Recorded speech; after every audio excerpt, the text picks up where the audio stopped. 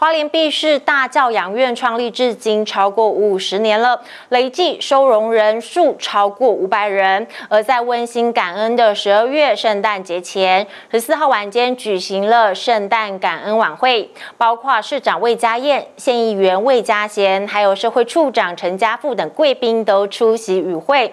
由院生还有员工带来精彩的歌舞表演，献给长期关心碧市大的贵宾还有家长，也期盼更。多善心人士给予毕士大教养院支持还有协助。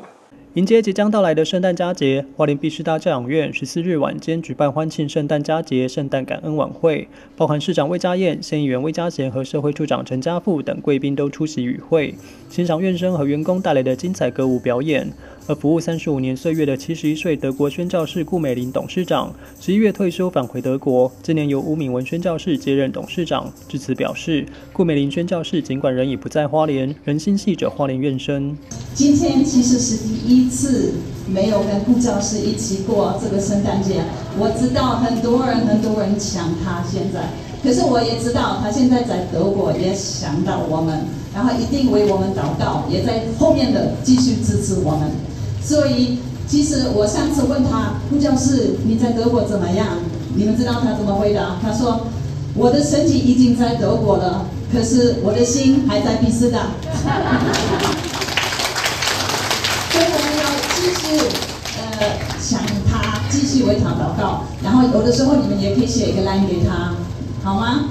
然后我们这里的同工们这这几个礼拜很辛苦的准备今天的节目。他们做的非常好，所以我们要享受今天的节目。那我想每一年后，这是孩子们最快乐的时光哈。那未来我们也会持续的来关心 B 师大，也会来持续的支持 B 师大哈。未来我们希望，我想花莲施工所是一个呃服务的一个机关哈，能够跟 B 师大其实有一些长期的一些合作哈。我想我们都会持续的来进行哈。那今天看到很多的孩子们非常的开心，那其实他们的笑容哈，就是就证明吼。毕士大是一个非常欢乐的一个地方哦，那也谢谢董事长跟院长的努力。县长徐正卫也在活动开始后姗姗来迟，与院童们迎接圣诞。教养院表示，每年这个时期，院生们最开心也最期待，透过不断的练习表演，给长期支持教养院的贵宾和家长，认真呈现自己努力的成果。透过圣诞节庆，展现毕师大院生的热情与活力，将感恩化为圣诞节祝福，也期盼更多民众持续给予教养院资源和协助。记者蒋邦彦华联市报道。